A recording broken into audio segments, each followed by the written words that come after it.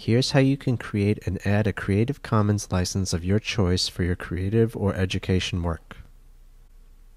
First, open your desired browser, Safari, Firefox, Edge, or Chrome. Go to creativecommons.org.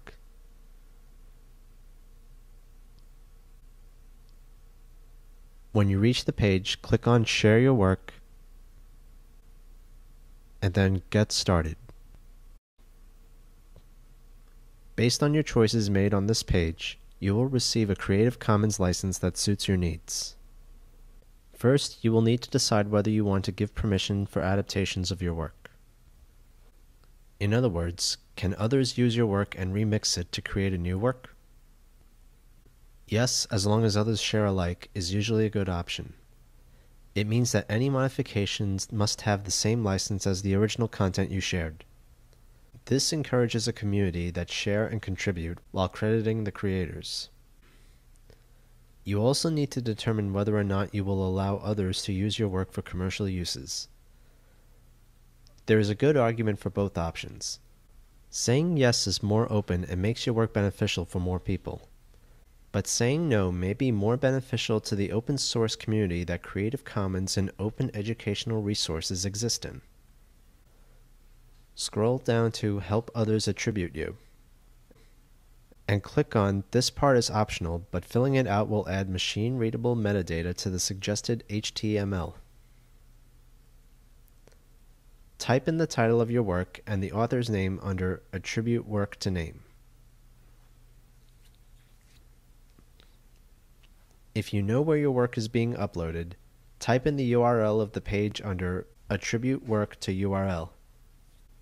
If you have any source in your work that needs to be credited, you can add them under Source Work URL and More Permission URL. Any of the field that's not applicable to your work, you can leave blank. Under Format of Work, identify what kind of file your work is in. Under license mark, you have three options. If you are creating a license for a web page, choose HTML plus RDFA. You can either copy and paste the label and text on your web page, or use the HTML code.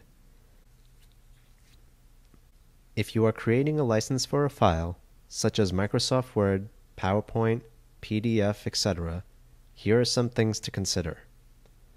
What is the main way of distributing your work? If it's in print, then you can select offline under license mark and copy and paste the text from there. This text shows the actual URL to the legal terms instead of using a hyperlink, which only works online.